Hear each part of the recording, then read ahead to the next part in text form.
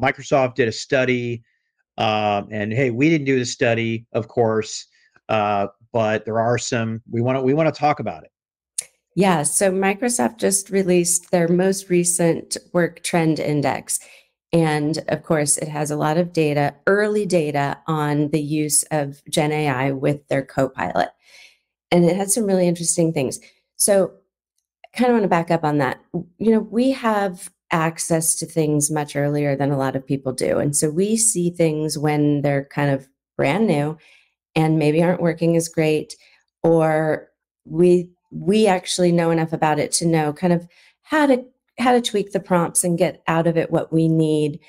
And so it really is good to see some data from actual users. Now that they have Copilot in GA, especially in Microsoft 365, they have some data. So they have, um, I'll just give you some numbers. So 70% of Copilot users say they're more productive, and 68% have improved the quality of their work. Um, 29% say that it they were faster in a series of tasks. When this is interesting because I think we've seen this with like Zoom, and now I've I've heard sort of anecdotally from Cisco, um, people are able to get caught up on meetings four times faster.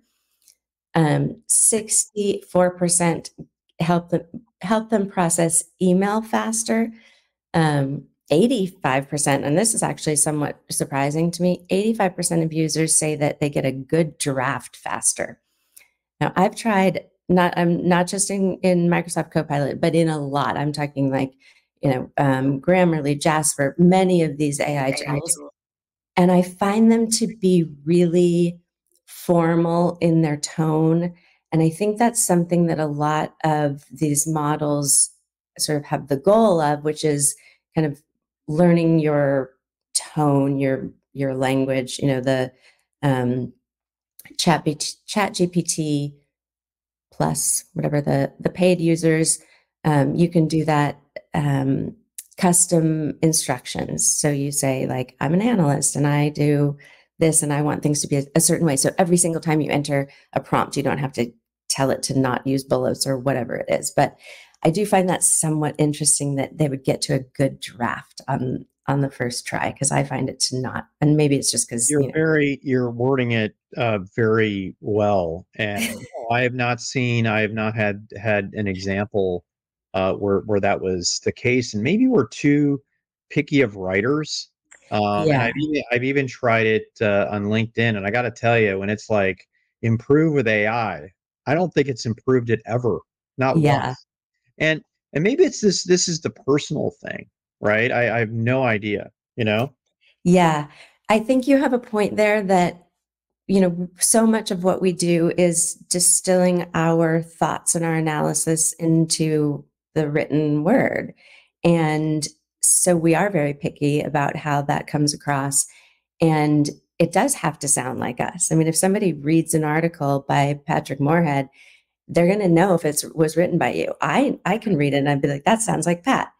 You know, it, we all have our own tone and kind of the way we pick things apart and the way that we share our opinions. And AI is not going to do that for you. You know, I mean, much less, you know, there's the whole intellectual property side of it where you have to have actually like real serious input into it for you to maintain IP. And that's a whole different topic we can get into on another day. Listen, another day. And, and, and right, we have not used with a full uh, cadre of data uh, the Microsoft Copilot with M365. And if we did, uh, we're not allowed to talk about it until it goes, you know, uh, uh either. Um, so yeah, I mean, I'm I'm pretty enthused, and I think maybe people, if they're a Google shop or something like that, or they're a Microsoft shop and they use Slack, or they're a Microsoft shop and they use Zoom, uh, or something like that, maybe this would get them to to rethink about this. Because you know the biggest thing we've learned about generative AI is that uh, the better the data uh, that's personalized, that is it is not just you know the Encyclopedia Britannica um, version uh, of this with the added intelligence, the better uh, the better the results are going to be. Yes, and I think there's there's this kind of sort of misunderstanding that people think that the you know the large in large language model it's like the larger the model the better.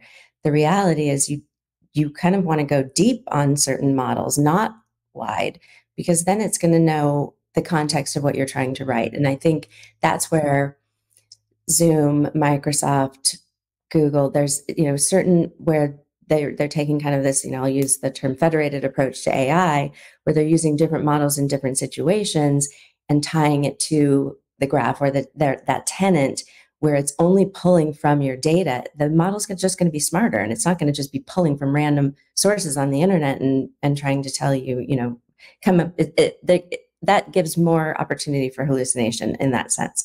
So, but I feel like yeah. Oh, sorry.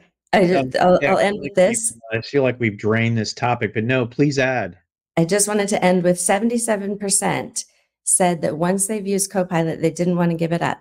And this morning, I had a briefing with um, Cisco WebEx, and Javed Khan, who's the senior VP and general manager of Cisco Collab, said that they've actually had to cut off the number of beta users who are using some of their Gen AI features in WebEx because they they're they like it so much that they're using it so much they've actually had to limit it. So they're getting that same kind of response of they once they use it they don't want to give it up and so i think this microsoft trend index is it's it is a reflection of what's happening in microsoft 365 but i think we can kind of expand on it and say it's probably happening in you know throughout we just don't have that data yet